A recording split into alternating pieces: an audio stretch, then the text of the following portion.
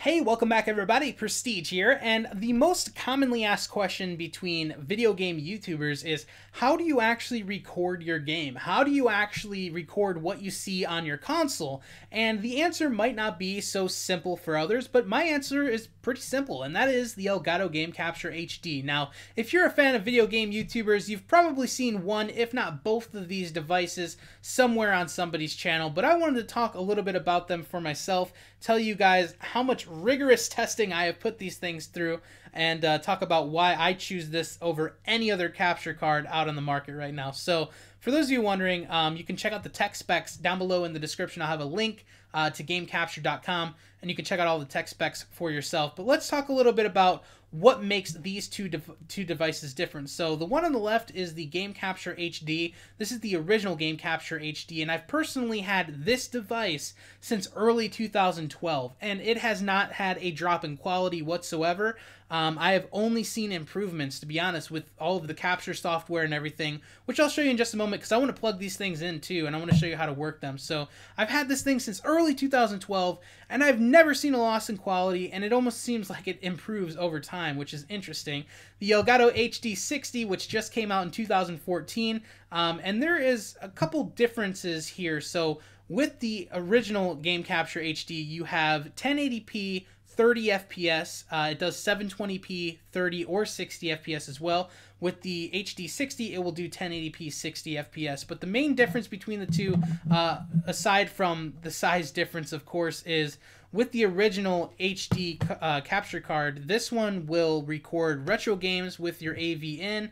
It will also record your PlayStation 3. Unfortunately, the HD60, as of right now, and I don't know if it's going to in the future ever, um, it will not record PlayStation 3 gameplay. So you actually have to record through your AV, and I've done that before, and I have footage of The Last of Us somewhere on this channel as well uh, with this exact capture card. Um, the HDMI in for other consoles like Xbox 360, Xbox One, PS4, and then you have HDMI out. And what you're going to plug into the HDMI out is your TV or your monitor, and then you have your USB that's going to go to your PC or uh, any other computer, laptop, whatever to record with the software.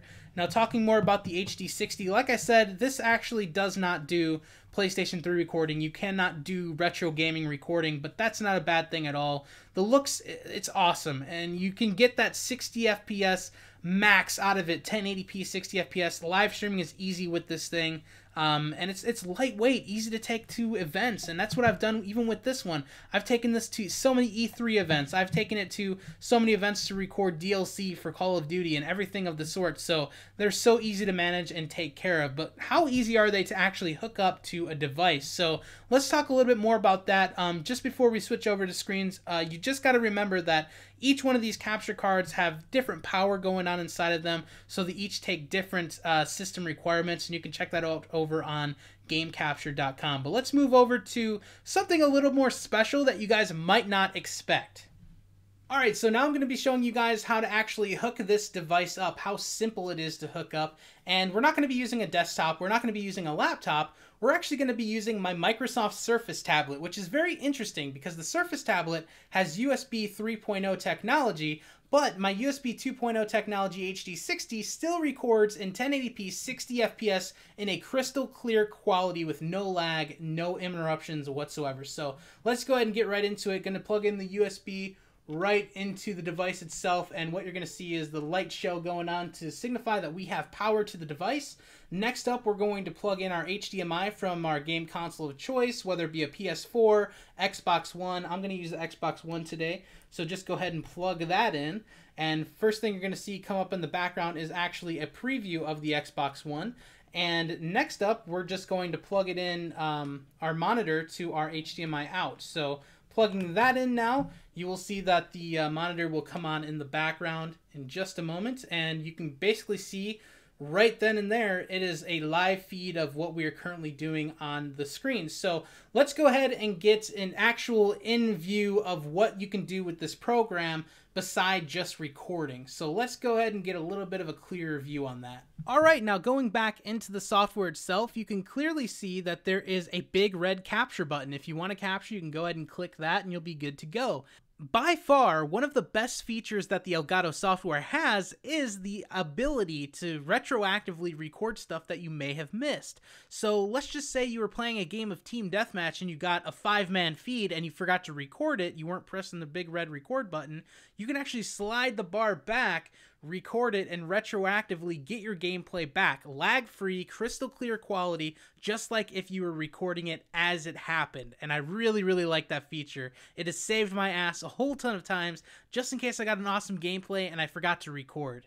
Um, on the right side of the screen, you'll actually see that there's a bunch of different things that you can choose from. You can choose the quality setting of your Elgato. You can actually choose uh, the in-game audio, how loud it comes through. You can live stream directly from this device, and I have done that before, and it comes out very, very crystal clear, depending on your internet connection, of course. The integrated live streaming feature is no joke either. You're able to actually have overlays like a webcam, or you can add images like a sponsor link, or even a logo for your channel. So there's a lot of stuff that you can do and mess with while using the live streaming feature. Um, and then you can also do live commentary. So if you have an external microphone, like I have a Blue Yeti microphone, I'm able to record directly in game while playing. And if you're playing on like the Xbox 360, um, and I know you can do it on the PS3 and PS4. There's certain ways to change your audio settings to where you can actually hear in game from other people as well, and it will be recording right onto the Elgato. Now, you can actually edit as well inside of this software, although it's not as advanced as I would like it to be. It's still really nice if you wanted to go through, cut up some specific things, and go from there. But otherwise, it's a really easy way to take and transfer video files, move them to different editing programs and then eventually render it out and put it up onto YouTube. So that is what I personally use to record my videos. That's what I use and have been using since early 2012. Me, I came from a Dazzle capture card that never even did 720 HD. And then I went to an HD PVR, and I gotta say, over the huge improvement, the HD PVR is just a clunky device. Moving into the Elgato game capture, having such a small device that has so much power is definitely an instant switch for me. So I'm very, very happy that Elgato came out with this device. And like I said, if you guys want to check it out for yourself, you can go to gamecapture.com down below in the description.